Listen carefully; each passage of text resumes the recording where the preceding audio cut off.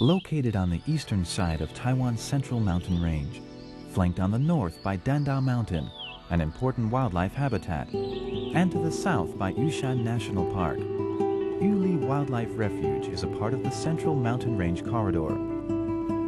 Geologically, the refuge is comprised of tertiary submetamorphic rocks. From the top of Mashi Mountain at about 3,400 meters to the Fengping River at about 900 meters, the refuge spans an elevation range of 2,500 meters.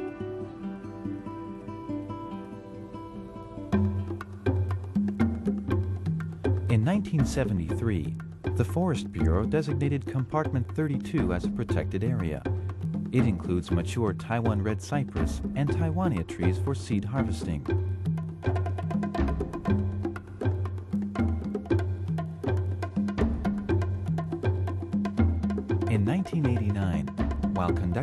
Natural Resources Survey in this area, Professor Liu Guangyan from National Taiwan Normal University found what appeared to be the footprint of a Formosan clouded leopard. Uh, I remember we saw a footprint in the sand at the base of a cliff. The footprint was much larger than the footprints of the other carnivores we knew about. We happen to know a researcher who studied Southeast Asian clouded leopards at the Bronx Zoo in New York. We showed him the photo of the footprint. He looked at the photo and thought the footprint was quite large. It was clearly made by a member of the cat family. He thought it was very likely that the footprint was made by a Formosan clouded leopard. In the Yuli Wildlife Refuge, including the Formosan clouded leopard, 29 species of mammals, 61 birds, 4 reptiles, 4 amphibians, and 1 species of fish have been recorded. The Formosan clouded leopard, Mikado pheasant, banded krait, Moltrecht's green tree frog, and Taitung loach are all protected under Taiwan's wildlife conservation law. The government, acting on the suggestions of wildlife professors, expanded the protected area from compartment 32 westward to the boundary of Danda Mountain and Yushan National Park. In 1990, the name of this protected area was officially changed to Yuli Wildlife Refuge.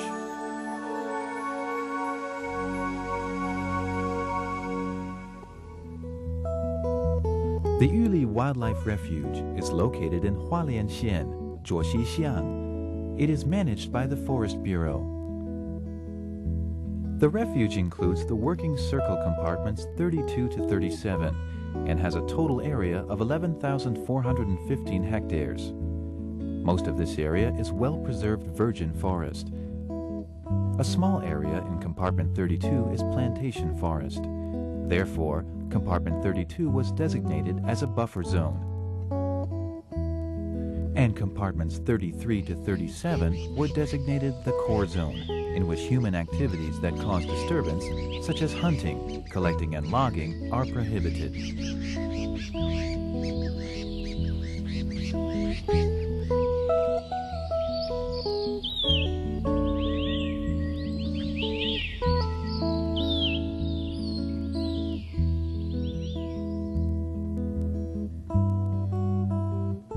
In Hualien Hualianxian, Zhuoxixiang, you pass through Redleaf Village and the Redleaf River Valley, eventually reaching the 32 kilometer long Sui logging road. Going up this logging road, you see abandoned banana and fortune Paulownia plantations.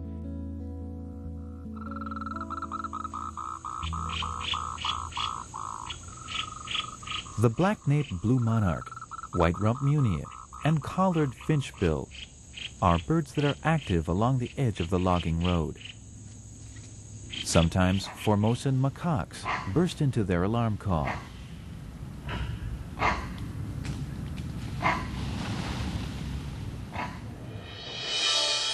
After driving about 10 kilometers, you reach the boundary of Yuli Wildlife Refuge. Plantations of the conifers Cryptomeria and Taiwania are carefully managed and look neat and nice.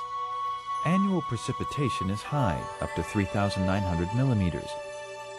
And everywhere are hanging lichens, mosses, other lichens, ferns, and other plants that thrive in wet environments. Since the devastating earthquake of September 21, 1999, falling rocks and landslides have reduced the vehicle accessible section of the Ruisui Logging Road from 32 to 19 kilometers. Beyond 19 kilometers, the road is passable only on foot.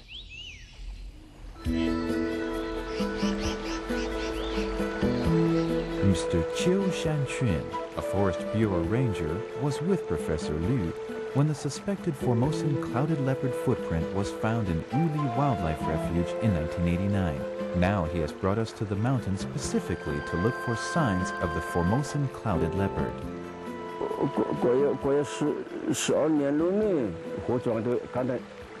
It was almost 12 years ago. We saw a very clear, round footprint on the sandy riverbed. It looked like the round footprint of tigers.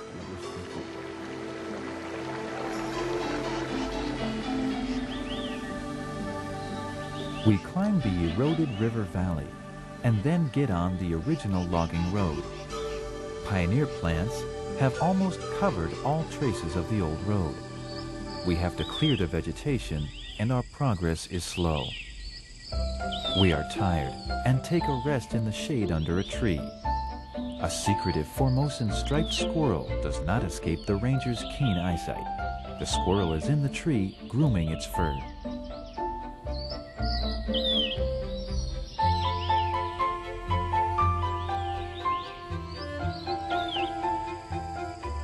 We are rested. Everyone puts on their backpacks and we move on. We must pass four eroded areas, and it will take about five hours to reach the logger's shed at 32 kilometers.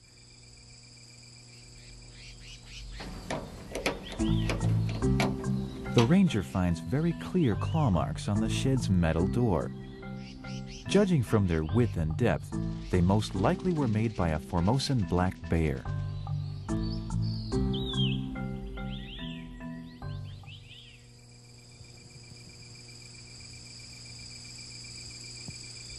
Because we arrive at the shed late and the rangers are on duty tonight, we simply cook a big pot of noodles for dinner.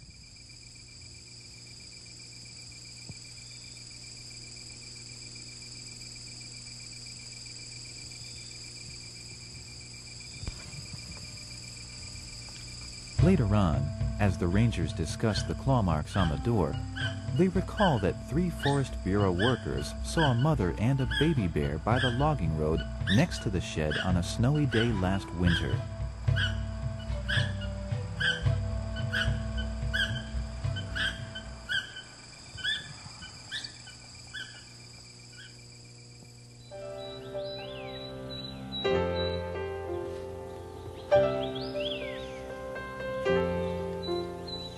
It is before sunrise, and the Mikado pheasant, a species endemic to Taiwan, strolls and forages on the logging road. Because it is the courtship season, the male pheasant occasionally flutters his wings while feeding, hoping to attract a female's attention.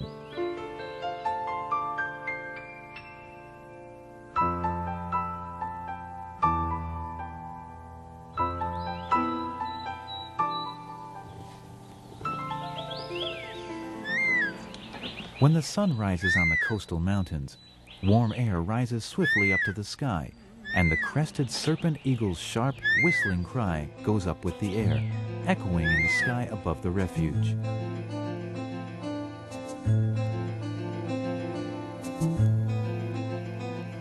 Besides the crested serpent eagle, other raptors, including the crested goshawk, maintain stable populations in the refuge.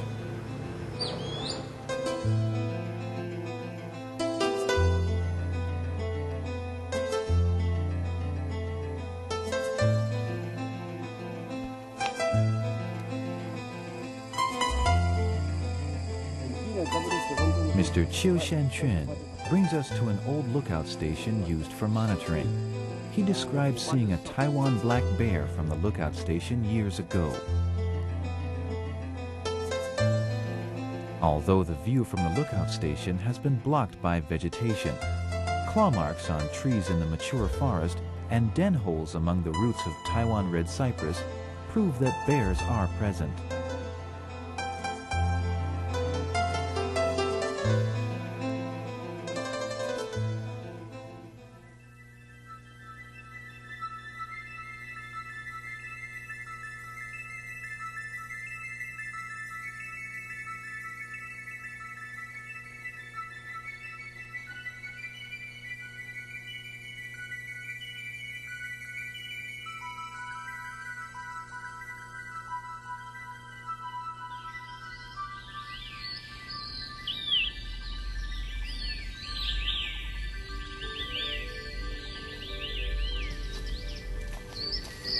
As we cross the ridge, besides the commonly seen Maury's rhododendron, we are surprised to find Nanhu rhododendron, which normally occurs only high in the mountains above 3,000 meters and not in this area, which is only 2,275 meters. Experts think, as temperatures have increased since the Ice Age, cool adapted plants have retreated up mountainsides. This is significant for understanding plant biogeography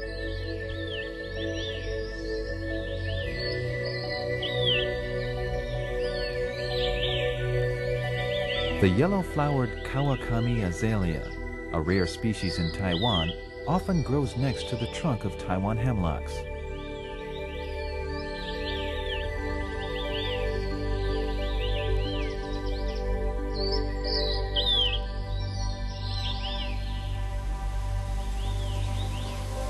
Walking down the ridge, we hear roaring water and enter the Fengping River Valley. It looks like Shangri-La. The Fengping River has deep pools, riffles, and smooth flat sections. Abundant and diverse river environments form a complete stream ecosystem.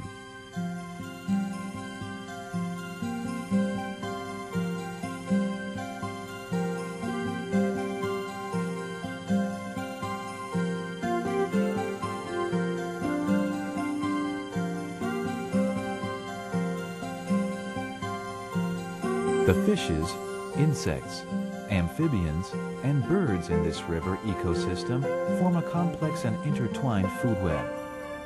The little forktail, Plumbeous water redstart, and brown dipper often feed in the river.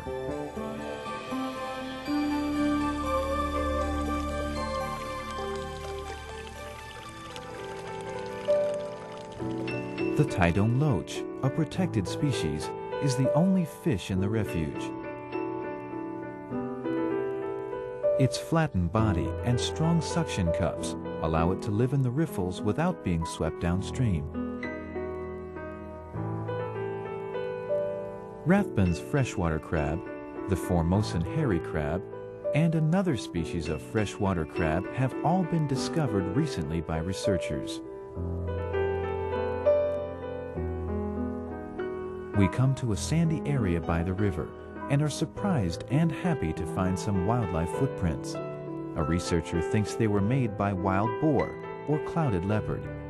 However, further study and comparison are needed to identify the prints.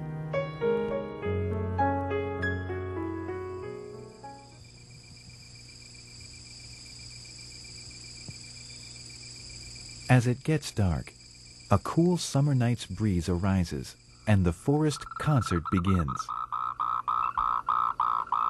Sauter's brown frog, the pango toad, Swinhoe's brown frog, and Moltrecht's green tree frog start to sing. The frog's calls are insistent, pulsating, sometimes nearby on the ground,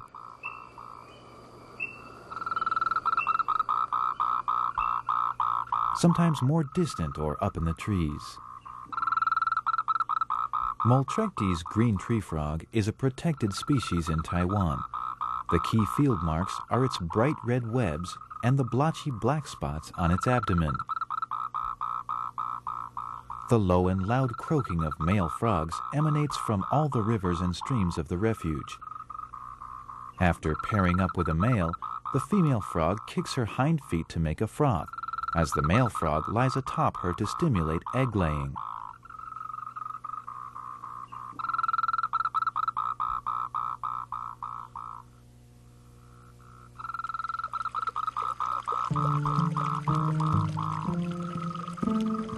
The banded krait is attracted by frog calls and crawls to the river to drink and hunt. As it slithers over the river rocks, the krait's black and white bands effectively warn would-be predators this snake is poisonous.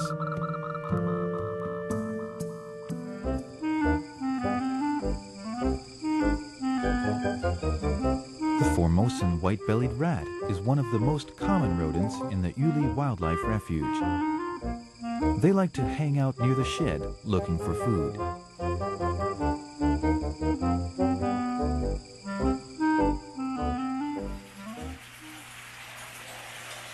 Bats are another type of nocturnal mammal in the refuge. Currently, seven bat species have been recorded in the refuge, including the Formosan lesser horseshoe bat and the Formosan greater horseshoe bat.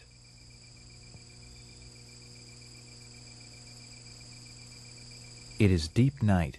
The forest becomes quieter and quieter.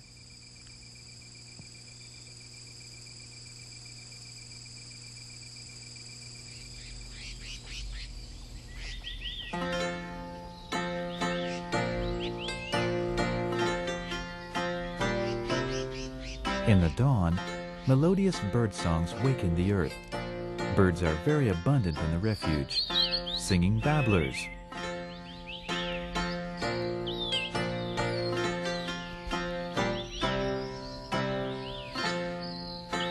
Active tits.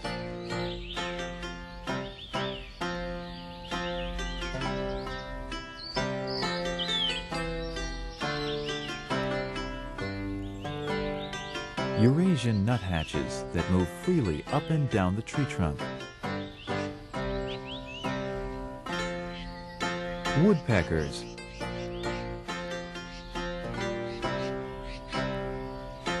And flocks of gray-throated minivets are all very common.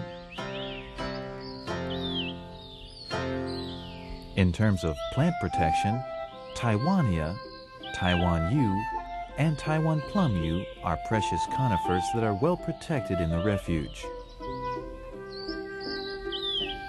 Plants in the families Lauraceae and Fagaceae create the complex vertical structure of the forest.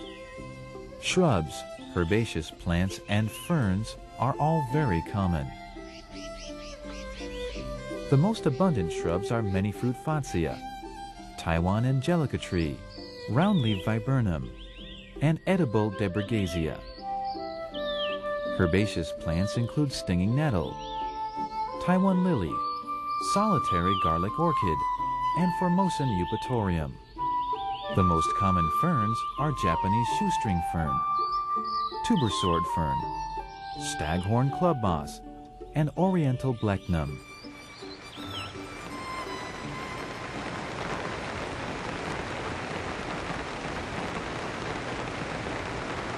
In this refuge, researchers use unmanned cameras that take photos each time an animal comes near.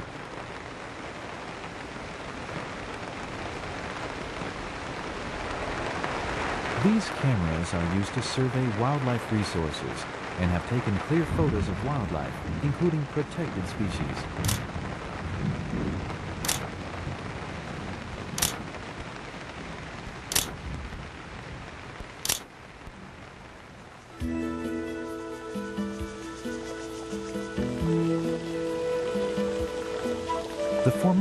Wild boar is endemic to Taiwan. They have a very keen sense of smell and are hard to see in the wild.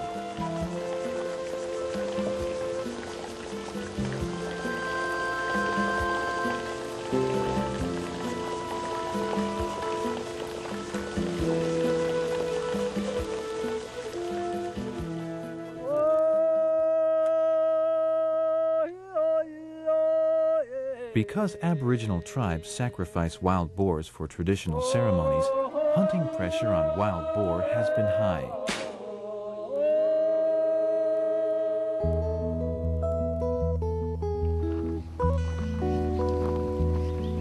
However, since hunting in the wildlife refuge was stopped, the number of wild boars has increased significantly.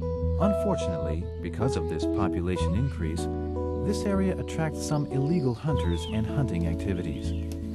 Therefore, the Hualien District Office, Yuli Ranger Station, has made a 5-kilometer patrol road in compartment 32 to catch poachers, stop illegal hunting, and conduct ecological monitoring.